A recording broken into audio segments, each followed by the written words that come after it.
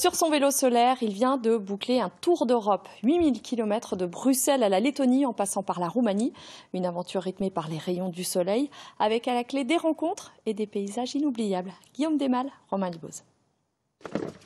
Ils ont parcouru ensemble plus de 8600 km. L'heure est venue pour le vélo de Stéphane d'être démonté. Il sera rendu à son sponsor après deux mois de bons et loyaux services. Le vélo, il est euh, intact, il n'a pas bougé. Euh, les parties que j'ai fabriquées ont, plus souffert, mais euh, ce vélo, franchement, il est taillé pour, pour faire le tour du monde. C'est un vieux rêve que ce retraité vient de réaliser. Traverser l'Europe aux côtés d'une trentaine de participants à la Sun Trip, une course en vélo solaire.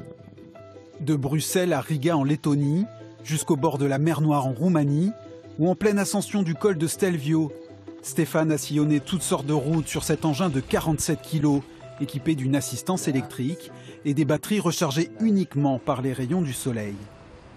Je trouve que ça ajoute un peu de piment à cette aventure. On sent un peu plus la mesure de l'homme face aux éléments, contrairement à, je sais pas, euh, un mode euh, plus motorisé où on peut s'abstenir des contraintes.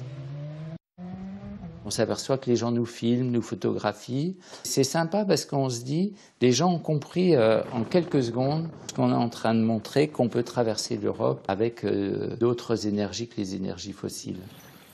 Un tour d'Europe à vitesse réduite pour prendre le temps d'immortaliser de précieuses rencontres, comme dans ces petits villages de Roumanie. La population vient à vous parce qu'elle vous voit passer, mais plus intéressé par la rencontre avec ce Français qui vient de si loin pour visiter votre pays que par l'aspect technique, technologique de, l'aventure. Avant de dessiner les plans de son prochain vélo artisanal, Stéphane exposera bientôt ses plus beaux clichés, des paysages ensoleillés et des visages rayonnants, un moteur pour se passionner de vélo solaire.